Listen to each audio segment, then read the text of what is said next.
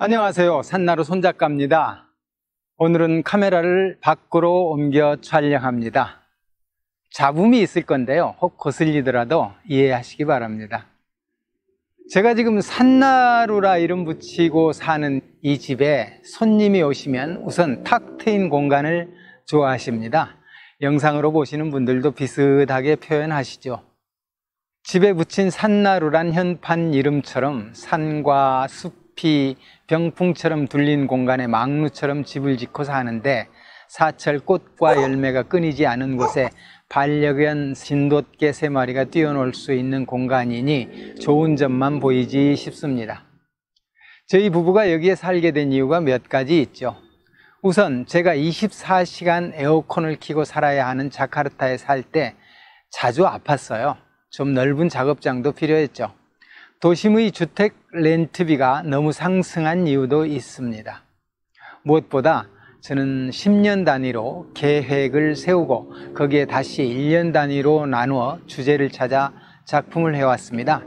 따라서 자카르타 생활 10년 후에는 국내의 산동네로 돌아간다는 계획이었는데 그게 몇 가지 사정으로 이 산동네로 바뀌었습니다. 지금 사는 곳의 기온과 풍광을 몰랐더라면 어떤 변화가 있었을지 그건 알 수 없는 일이고요. 건축에 관해서는 문외한인 아내와 저는 타국의 일꾼들 더불어 1년에 걸쳐 이 집을 지었습니다. 그리고 살기 시작한 얼마 후부터 우리가 얼마나 복받은 사람인가 하는 것을 알게 되었죠. 아침, 저녁은 물론 때마다 여기 사는 것이 뿌듯합니다. 정말 잘한 선택이었다고 늘 되뇌죠. 가장 큰 이유가 겉으로는 풍광인데요. 속내가 따로 있습니다. 제가 돈을 못 버는 직업인 예술가잖아요.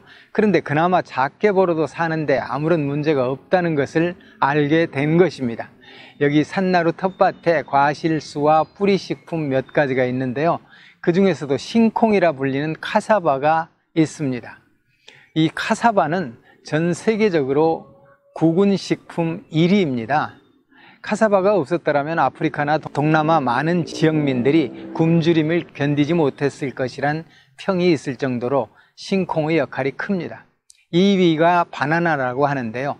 물론 우리 집에도 바나나가 있고요.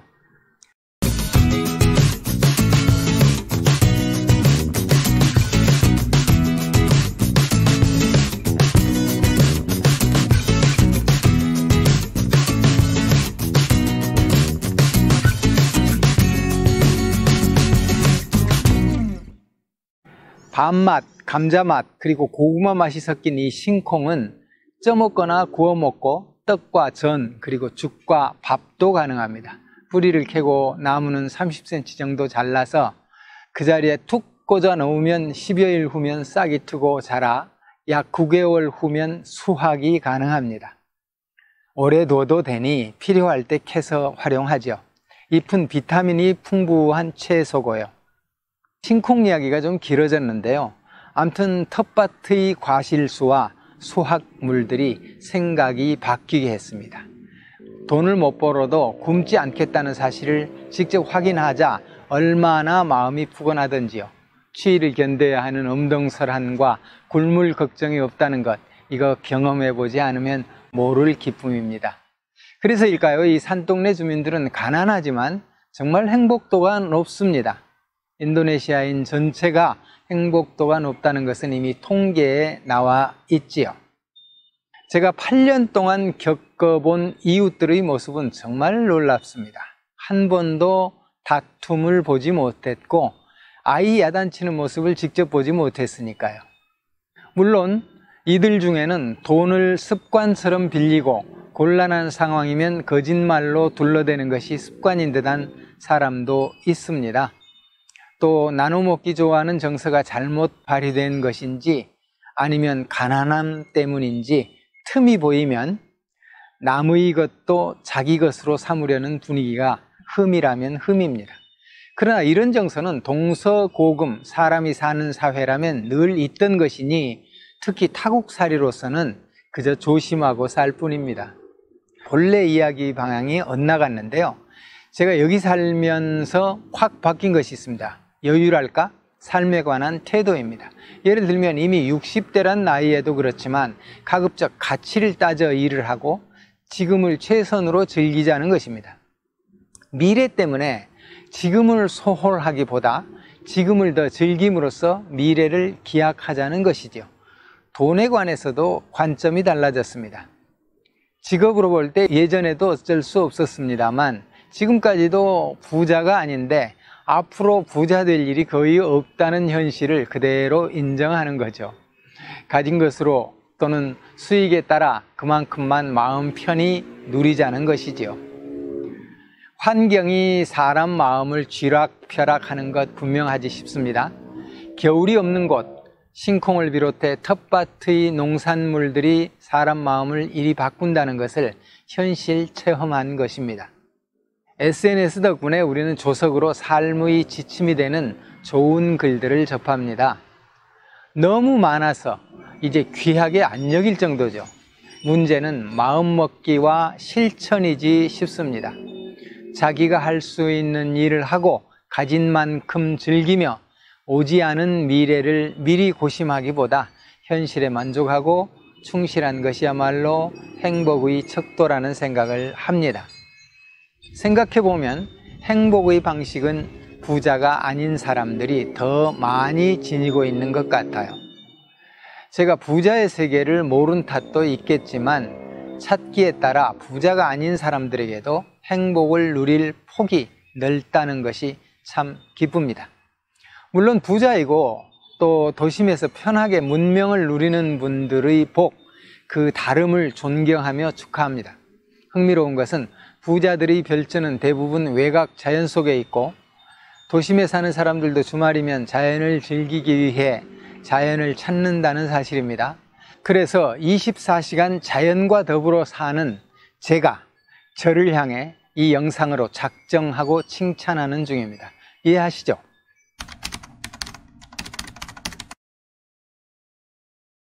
자신의 삶이 풍경이 되는가를 돌아보라.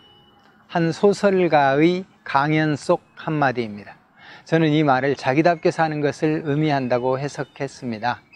세상에 매몰되어 자기를 잃어버린 일 없이 주인의식을 가지고 자기답게 산다면 항상 그 삶이 풍경이지 싶어요. 풍경과 함께 살면 쉽게 풍경이 될 것이라는 것은 제 처음입니다. 자연 속에 살지 않아도 마음 안에 풍경을 담고 살면 그 또한 풍경일 것임은 제 믿음이고요.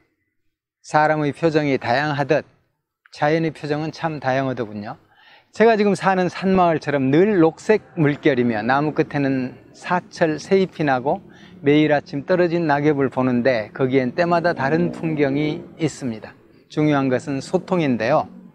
무언 속 자연과 마주하는 이야기, 참 괜찮은 소통이라는 것이죠. 때로 사람이 사람의 마음을 닫게 하지만 언제라도 사람의 희망은 사람 아닐까요? 그래서 사람은 언제라도 감정을 열어놔야 하지 싶네요. 저는 2020년 조명섭 가수를 작품의 주제로 삼았습니다. 지역 불문 많은 분과 소통도 하고 있습니다. 조명섭 가수의 랜선 아빠를 자청하고 있고요. 그래서 드는 생각인데요. 랜선 아들 조명섭 가수가 만약 심신을 쉬고 싶다면 기왕이면 좀 멀리 이곳으로 날아와도 좋겠다는 생각을 하게 되네요. 인기 대중 연예인이니 현실적으로 거의 불가능해 보이나 나훈아 가수가 일부러 틈을 만들어 세계 오지를 여행했듯 언젠가 재충전이 필요할 때면 가능성도 있으리라 생각을 해봅니다.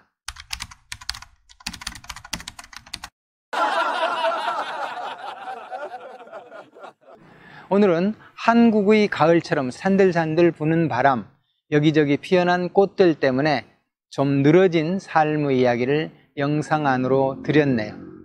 끝으로 이번에 발간한 책 명천의 선한 영향력 194쪽에 실린 작품을 소개합니다.